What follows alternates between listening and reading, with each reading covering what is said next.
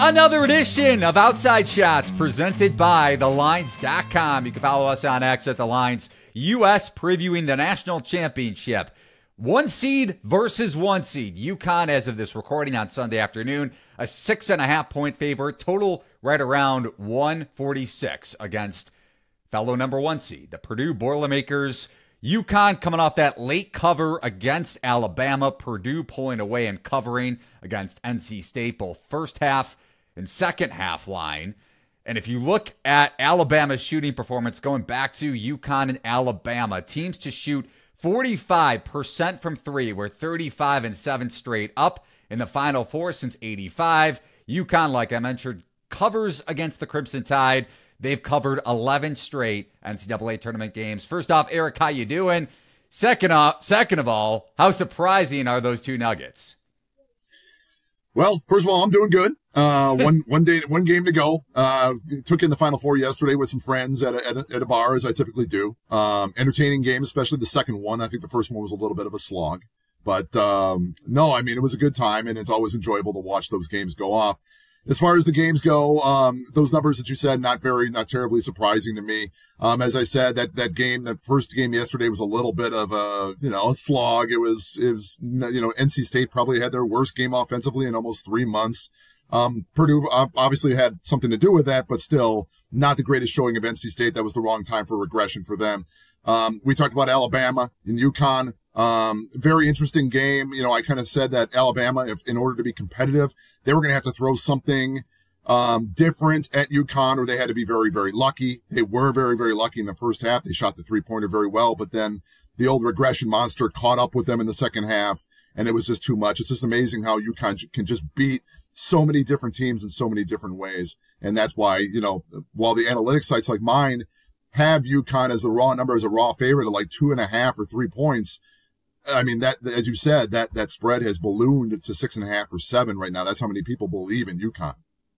Yeah, and it opened five and a half. And as we look at the point spread from a market rating standpoint, sports books, bookmakers, odds makers want to shade the line more towards UConn. This isn't any sort of a mind blowing nugget here because mm. of the inevitable action on the Huskies. If this thing opens four, four and a half, and I have it closer to UConn like minus 4.2. But if it opens right around four, four and a half, you're going to get a, a flooding of UConn bets and money for that matter coming in. Six and a half, you're going to get maybe even seven if this shoots up to seven on game day, as we're recording this here on Sunday. Probably a good handle when it comes to Purdue and UConn bets and money. So you're going to have dog lovers that say this line's too high and the money line up mm-hmm. to Purdue plus 235 at some shops. BetMGM, I think, still has it at plus 225. So to that point, I, I think the line is the sports books have this one exactly where they want it. You could, mm-hmm. you as in Eric, you as in the listener or viewer could say the line is inflated, and you may be right, but sports books are going to get good two way action, which is exactly what they want from their standpoint. Now, you go back to 1999 as long as this one doesn't close in the four or five range and we see a ton of bets of money come in on Purdue, forcing this one down, which it won't. It's going to be the second highest point spread for a hmm. one seed versus one seed since 1999 when Duke was minus nine and a half against the Huskies and the Huskies upset Coach K and the Blue Duke Blue Devils. And then also you go back to 1939. So if UConn covers once again, which would be their 12th straight NCAA tournament cover. Last loss ATS and straight up for UConn was going back to two years ago in the tournament against New Mexico State when apparently Dan Hurley couldn't win a tournament game. They would be the first team in NCAA tournament history to cover and win back to back titles, covering every single game going back to 39. That is incredible. So when we talk point spread, Eric, when we talk the market rating here. Where are you looking to bet? How are you looking to bet this game? And what do your numbers say on the service, either side of the ball? I'll start with you. Yeah, so when it comes to the over under, um, I'll I'll start there. I think I have that one at about 142 and a half. As I said, the raw number for UConn is is UConn by two and a half. Now that will move a little bit. I understand how that would move closer to three and a half or four because of, um, if you look at the average performances of UConn this season, their performances away from home were actually better than their performances at home. That, that is not the case for Purdue. Granted, Purdue's played quite well in this tournament, but still a lot of their rating is ballooned because of the, the way they perform at Mackey Arena. And that comes into play. And that's why you see the raw numbers is going to be a little bit smaller than what the supposed spread is. Like you said, about a 4.2. That feels right to me. But for me to see it, you know, any, for Purdue to be a six and a half or seven point underdog against anybody in this country is just a tough thing for me to swallow. And I look at this and go, as, as good as UConn has been, you know, I tweeted about this last night, even considering they're my number one team in the country. And you look at the, the average play throughout the entire season, they've outperformed their season norm in 11 of 12 games. It gives you an idea what kind of momentum they're bringing in. But at the same time, Purdue has outperformed their norm in seven of nine. So I think that a lot of people look at UConn. They've been dominant. They're the defending champion. They can beat anybody in any given style. And they seem to have some sort of answer for Zach Edey in the form of Donovan Clingan in this game. That being said, uh, you know, this, this is just such a big gap for me. Normally when you look at these games and you look at analytics sites versus the spread, you're only talking about maybe a half a point, point, point and a half a difference. Here you're talking about a difference between my raw numbers and what you're seeing in Vegas it's somewhere in the four to four and a half range, which is really quite remarkable. Um, for me, I think it's still a little bit overblown, my opinion only. So I'm probably going to ride Purdue plus six and a half or plus seven here just because I look at Purdue and go, it's just hard for anybody to beat Purdue by six and a half or seven points, even if it is UConn. You cannot, UConn can have an off day and then Purdue walks to an easy cover in this one, even if they don't win the game. So let's start like you have kind of touched on here with Purdue offensively.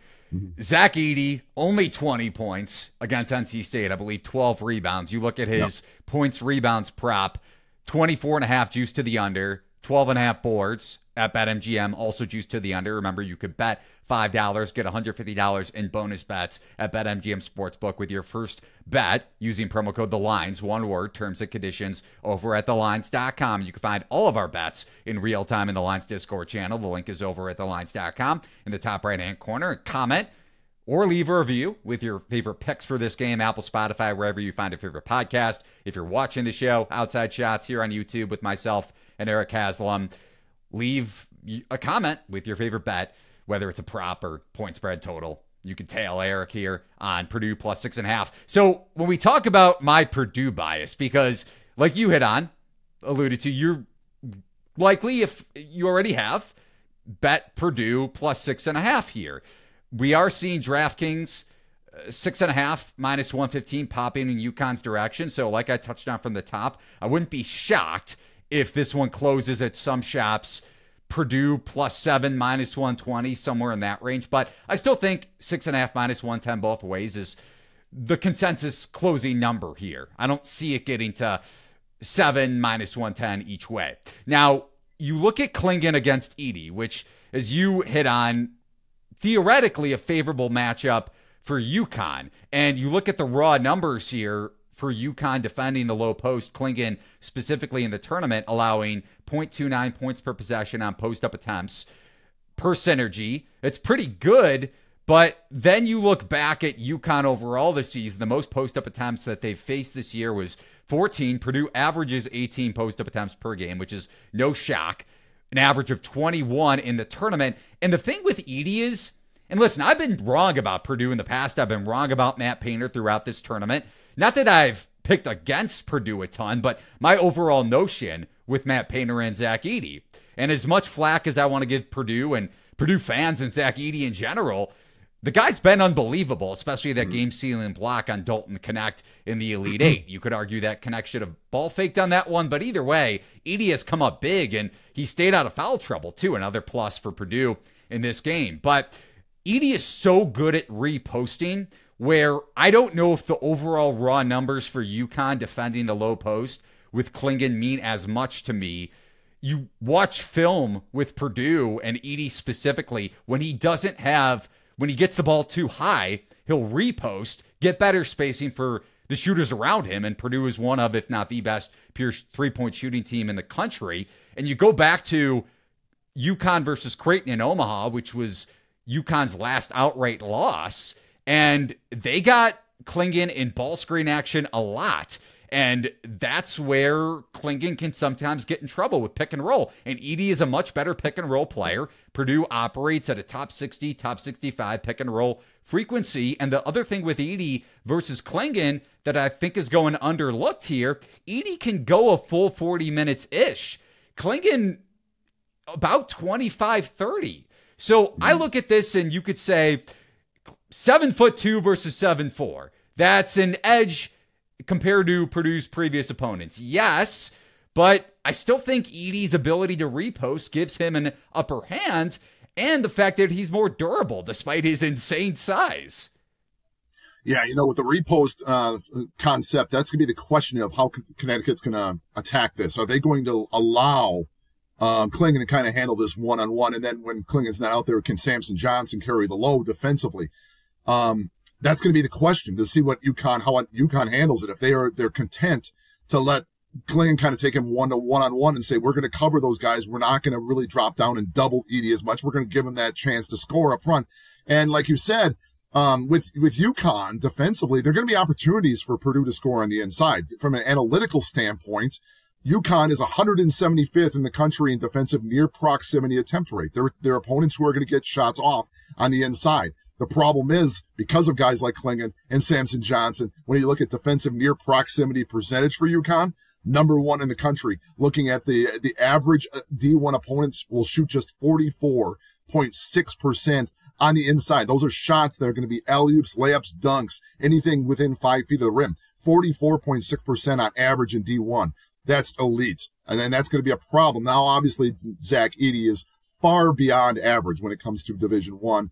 So they're going to, but they may test their hand on this. I wonder wh- how much they're going to rely on Clingan to handle the one-on-one battle and say, we're not going to drop down. We're not going to expose Purdue's outside shooters and let them get wide open threes. It's going to be interesting to, to me to see how Dan Hurley handles this if he actually is going to try that one-on-one approach with Ziti until in, uh, with, with Edey until Edey proves that he can actually score consistently against Clingan, at which point UConn probably has to make an adjustment. You got me hungry there. I was thinking about Big Ziti or Ziti, Ziti, however you want to pronounce it. Ziti, Zach Edey. exactly. so you mentioned how UConn is going to handle the one-on-one or potentially post traps. UConn is so good. That's the other thing. Even though they've only faced fewer than their fair share of post-up attempts in the tournament, the weak side defender that's what Hurley tends to rely on when they do post trap, and then that allows them to get back and rotate over and not allow the open threes. But they are vulnerable in drop coverage. So when you look at Purdue's mid range efficiency, Braden Smith, 98th percentile in mid range frequency, 60th in efficiency, this per CBB analytics. Fletcher mm-hmm. Loyer, 74th in mid range frequency, 85th in efficiency. Mason Gillis, 45th percentile in mid range frequency, 73rd in efficiency. Now, with Smith in particular, we were touching on this off air before we got started with the podcast.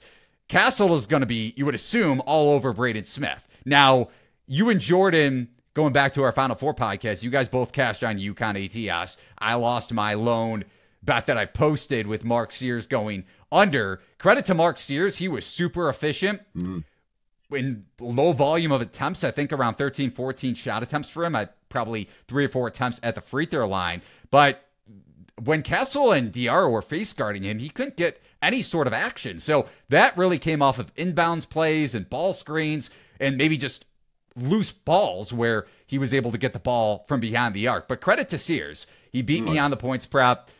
Plus money if you faded me there. So shout out to you if you did so we know Castle is going to be able to hamper Braden Smith, which is why you may be looking at Braden Smith under 10 and a half points over at yeah. BetMGM, right? Yeah, I am. And I think it was uh, minus 120 for under 10 and a half. I'm looking at that one. The reason why uh, Braden Smith obviously did not shoot well in this game. He hasn't shot well the last couple games. I kind of look at if you're in a national championship game against the UConn Huskies, this is not exactly a get right situation for Braden Smith. If he's at this point, you got to start thinking if you're in your head and you shoot one for nine and you make that last three pointer in the game, and other than that, he's an over in the game. It, you know, probably not. If you look at the options offensively with Loyer and Jones, and obviously Edey on the inside, I'm thinking, I'm wondering if Braden Smith is going to be thinking, I got to be more of a distributor in this game. This is not my time to get my shot right because I, every possession is going to count here. So in this situation, I think that Braden Smith might be looking more to be a distributor in this situation as opposed to a scorer, um, trying to rely more and more on those better options offensively. So in this situation, it feels right to me that this is not a great get right game for Braden Smith. So I'm going to probably lean on the under here on the 10 and a half points. And he just went, to your point about assists, just went under the assist prop against NC State. That one lined at seven and a half. So to that point about it, you know, Smith being more of a distributor, which he has been throughout the entire tournament, Lance Jones to me is an very underrated factor in this game. Not that people aren't talking about him, but you look at his points prop over under 10 and a half. He went over against NC State, hit some big threes to really help Purdue pull away that juice towards the over, the points prop of 10 and a half. He's also 50 to 1 to win most outstanding player. And if Edey underperforms, maybe scores in the 15 to 17 range, or if he gets in foul trouble even in the first half, I could see a path where Jones wins most outstanding player. And to that point, he's not going to have Castle on him, you would think, unless he's just going off. But even if he is, that gives him a leg up with the points prop early and maybe the path to most outstanding player. And then as we transition over to Purdue defensively, he's going to likely have the responsibility of guarding Tristan Newton, who, while he could have success, Newton, I'm talking about, against Edey and Purdue in drop coverage, he ranks 28th in mid range efficiency and 30th in mid range frequency. So also you go back to the first time UConn and Creighton squared off, or second time I should say, in Omaha. You or uh, Creighton did a great job of blitzing those UConn ball screens to essentially force Newton into those mid-range shots. And I'll look back at the numbers before I swing it to you, but Newton wasn't the most efficient offensively in that game. So mm-hmm. if Jones can have the impact that I think he can on both sides of the ball, especially if Edey doesn't have a great night, because we know the voters are going to be swayed in Edey's direction if Purdue wins the game naturally. I kind of like my angle with Lance Jones. Yeah, with Lance Jones, I think it's going to really require a, a phenomenal shooting performance for him to get that. I think one of the things, like he, he, shot well last night. He shot four of nine from the three point line. I think that was the, that's the most three pointers he shot since, since late January um, hit four, four threes, but that was the, the most he's hit since the game on January 31st against Purdue when, um, excuse me, against Northwestern when they, when he shot five of seven in that game. The other thing, you know, like Lance Jones, you know, I kind of think that Lance Jones has a little bit of a, you know, such a great shooter and a, and a scoring mentality and a reputation. And that was kind of the, the truth going in late January and early February where he scored in double digits in six of seven games. But all of a sudden now he's only scored in double digits in in two of the last six games. And one of those games, he scored 12, and then the game last night, he scored 14. Um, I think it's possible, and I, considering the odds, I completely understand it. But it's going to be one of those things where I think Lance Jones probably going to have to sink six or seven from three, or seven of eight from three in order to be there. I think that's kind of the way he's going to have to get to be that that most important player in this championship game. Um, just lately, he has not done it. He still has that reputation of a dead eye shooter. And I think you saw a little bit of it last night. If that continues, um, I think that's going to be great for him. But uh, boy, you know, it's, it's a tall order versus a team like UConn. And to his credit, he has improved with his shooting efficiency going back to his days at Southern Illinois. And that was, mm-hmm. You look back at the transfer portal, one of the biggest pickups in the offseason, the only transfer Purdue took in. So as much as I, hate on Painter. Credit to him for a his coaching job because it's not like Purdue hasn't faced a physical team. I was thinking about that this morning. This isn't the easiest path. Yes, you could argue first two games for sure, but then you look back at UConn's defensive path, the opponents they faced at the defensive end of the floor in adjusted defensive efficiency, and maybe you could pull up the numbers to kind of uh, highlight this for me, Eric. Stetson, 341st. Then you look at uh, Northwestern, 54th, and they didn't have Matthew Nicholson on the floor, which definitely was a downside for them, especially against Clingan. San Diego State, 11th, Illinois, 80th, and Alabama, 111th. Now, I know the Tide are playing better at that end of the floor, but I mentioned how Newton isn't the most efficient mid range frequency. By the way, I looked this up. If you go back to the last time UConn and Creighton played in Omaha, Newton was very efficient from two, but a lot of those came at the rim and for and one opportunities, especially in the second half. When Creighton pulled away in the first half, they were hedging and getting running Newton off the three point line to force him into some of those tougher mid range jump shots. And that kind of shows up in his mid range efficiency around the 30th percentile, which isn't great, below average. And then also, you look at uh, how Purdue is going to try to defend Stephon Castle in this game because going into the game last night, the second of the two between Alabama and UConn, maybe Matt Painter thought he can get away with putting Fletcher Loyer on Stephon Castle. Well, not if Castle is hitting threes two of six from deep against Alabama, at least forced Bama to play him a little bit tighter around the arc. So, how do you expect the defensive matchup to go between Purdue and UConn? Well, one of the things you touched on a little bit was what intriguing to me was like we talked about the mid range. How is the mid range going to play into this? UConn right now, 341st in the country when it comes to the uh, mid range attempt rate. That's something that they don't, there's a lot of teams that have that mentality. You know, I think we talked about Alabama had a similar mentality. It's all threes or you're going to get shots up close. They avoid those shots. One of the things that may work to the benefit of Purdue, you know, this is the, the Rick Byrd mentality and I always kind of talk about that. I love the Rick Byrd mentality playing at Belmont. He was the first person that I remember that really avoided the mid-range shot like the plague and then encouraged it on the other end. Um, I, I, always kind of think the game within the game. You know, we got to that mentality for a long time. And now a lot of coaches are probably thinking next level. How am I going to expose the mid-range game? If they're going to encourage me to shoot the mid-range shot, how can I be successful in scoring from those mid-range locations?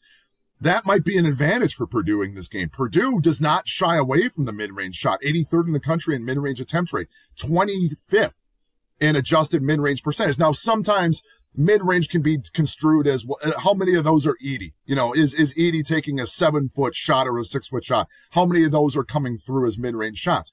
But I don't think it's just that. I think when you see this, you know, they're very two dimensional uh, per, all UConn is offensively. And granted, they're very, very good two dimensionally from the three point line on the inside. But the thing about Purdue is they add that dimension where they're content. They can actually take that mid range shot and convert it. I wonder if that's going to be another thing that goes in favor of Purdue, which is another reason why I like that Purdue six and a half, um, plus six and a half bet. Yeah. And I'm going to have a small bet to kind of finalize our bets here on the final edition of Outside Shots for the season, I'm going to have a small bet on Purdue money line at plus 235. Implied probability for that is right around 30%. My numbers make it closer to plus 215, plus 220. Like I mentioned, around the four, four and a half range for me in terms of my uh, projected point spread for this game. So with UConn in the mid range, Spencer definitely has an advantage there. If you think UConn wins the game, Spencer probably goes over his scoring prop. And if UConn covers, I think Spencer will go over in that sense, especially against Edey and Drop. His points prop over at BetMGM, 13 and a half juice to the over. Stephon Castle, his points prop over under 10 and a half juice to the over. By the way, I wrote this up in my article going into the Final Four yesterday. If you looked at the most outstanding player odds entering the Final Four, Castle was around 30 to 1, 30, 35 to 1. He's now around 3 to 1. 3 hmm. I think plus 325 to win most outstanding player. I don't think he's going to be nearly as efficient offensively even if Loyer sags off still and Painter says, okay, we're going to still force Castle to beat us, even though he hit some shots against Bama, which I don't think would be the worst thing in the world. Now, is Clingan going to be able to have success against Zach Edey? You could argue maybe yes on some of those rim rolls because Edey doesn't necessarily want to drop back and foul on an attempt at the rim. He did a really good job of that, especially in the second half against Tennessee. If Tennessee had a layup at the rim or a potential alley oop at the rim, he didn't try to attack it and try to block it or pick up a foul then unnecessarily, which he's elite at. He's elite at drawing fouls, as much as I want to knock him for that too and knock maybe some of the calls. And he's elite at not getting in foul trouble. So even if Clingan I would actually lean towards Clingan going under the points prop, the which is lined at 14 and a half juice to the under at BetMGM. I think Purdue wins the game, which is why I would rather take money line than the point spread. I think it's either UConn by double digits or Purdue winning the game. I, I don't. I get your point spread play for sure, just because we both agree that the line is inflated. But because of that, I see more value in the money line. But still, both of our our analysis leads towards Purdue keeping the game close and potentially winning the game outright. It's interesting because it's kind of a similar mentality to a lot of people what they had versus Alabama. I think we said the same kind of thing. Like Alabama, if they get hot and they play the right game and they shock UConn, they can win this game. Otherwise, it's going to be a double digit loss. Um, the only difference is I think the poise of Purdue is a little bit more. I always kind of looked at Alabama and said defensively, that was the big problem for Alabama. Purdue is a different animal. Purdue can actually play defense. They actually rank in the top 10 or 15 for me defensively. Um, I think the one thing that's really going to be a problem going forward, and I kind of said this going into the tournament, this has always been kind of the Achilles heel for Purdue. Kind of, I always bring up these little things like Marquette always had these, the same Achilles heel of not being able to clean the glass. Um, in this situation, I've always said about Purdue, too much reliance on Zach Edey. And the other thing we saw a little bit of it last night was turnovers. How reliable is going to be with those, with Purdue's guards. And that was one of my concerns was the, that senior guard, those senior guards from NC State versus those sophomore guards from Purdue. Was that going to be a problem? Purdue did not play a fantastic game last night offensively. They turned Two over. Two backcourt violations yes, for Smith in the first back half. to back. Yes, right, almost back to back. Um, and, and so that's kind of the thing that's ongoing for me, something that I worry about for Purdue as well. And if you're going to get that defensive pressure from UConn, is that going to continue to be a problem for the Boilermakers in this game? So one last thing that I want to bring up before we get out of here, because we haven't really touched on it the total, which you kind of alluded to, I, I, think you have a little bit shorter than the total right now, 145 and a half, 146. You mm. said in the 142 range, right? 142 and a half. Yep. Okay. With the pace theoretically being slower, like if we think about uh, projecting how this game is going to play out, even though UConn is elite in troll. well, with that said, UConn, while they want to play slower, they are elite in transition around 1.22, 1.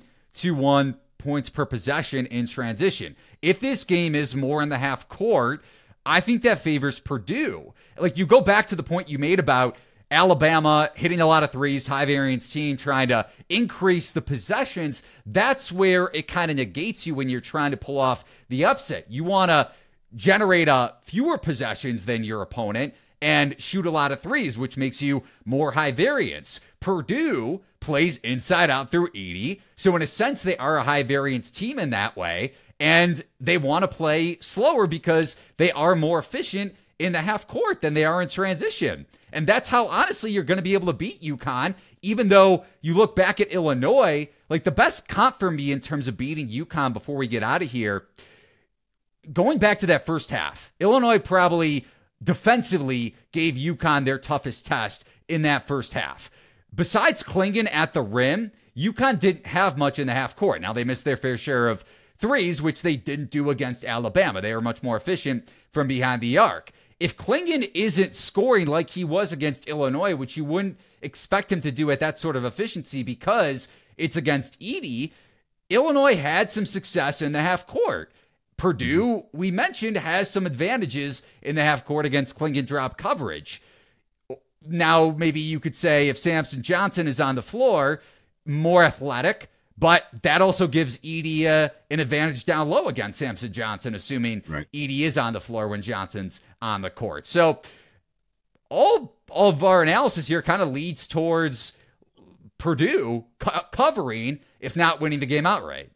You know, it's interesting you mentioned this because I kind of have the same opinion. It's it's funny that Purdue plays at a higher pace than UConn does. Purdue is 248th in game pace for me. UConn way down at 333, you know, number 333. But so why do we feel that Purdue's in a better situation if the game is slower, but it does feel that way for me. The reason why I think is because UConn can beat you any different way. They have their preferred right. pace of play against anybody, but they, they have proven time and time again that you can run against them. You can slow it up. You can do whatever you want. We're just going to beat you whatever style of play you want to play. And that's the way it's going to be. And that's the reason why I look at this and go, I think from a standpoint, I think Purdue is going to be far more comfortable playing a slower game, but the slower the game you play, the more you're in the wheelhouse for UConn. That's the problem. Right. With that said, we are taking Purdue. He, Eric Haslam, has Purdue six and a half, right? Plus six and a half. And All I right. did see plus, I did see at least one plus seven this morning. So it is, it is still growing. I'm still going with six and a half though. Okay. And I'm going to be taking Purdue on the money line plus 235. Remember to price shop for the best odds over at thelines.com. You can follow Eric on X at Haslametrics. You can follow me at Eli Hershkovich. Be sure to use our promo code with BetMGM. The line's one word. You bet $5, you get $150 in bonus bets back. If you're listening or watching to us in North Carolina, be sure to use all the best promo codes with Sports betting now legal in North Carolina. You can find all of our bets in the Lines Discord channel. The link is over at thelines.com in the top right hand corner. So, on top of my Purdue money line bet, I'm going to have a small bet on Lance Jones going over his points prop 10 and a half, and even smaller bet on Jones winning most outstanding player at 50 to 1. Small, small, small, like couch change on Jones winning MOP, just because I think the path is there after a relatively efficient game against North Carolina State. Will you jump on that with me, Eric, or are you staying away? Yeah, you know what? Maybe I will. You, I, I kind of jumped on the Clemson train with you. So maybe I'll take a look at this and say, maybe, like you said, I love the idea, the coach change idea. Just throw a, throw a very, very small amount, have a little fun with it. And then all of a sudden, if the guy all of a sudden knocks down five threes in the first half, you're feeling pretty good about that bet. So it might be something worth trying. The one thing we haven't discussed is with the eclipse happening on Monday night, we know that's going to be a UConn against the world approach yet again. Of course, the eclipse is happening when UConn is in the national championship game. Naturally, yes, yes. I, I, actually have a friend of mine who's going down to watch it down in like Southern Illinois. So, yeah, weird stuff happens when the eclipse occurs. So who knows what's going to happen on that particular day. he is Eric Haslam at Haslametrics. I'm Eli Hershkovich. Thanks for watching and listening to our season finale edition of Outside Shots. So long, everybody, and good luck with your national championship bets.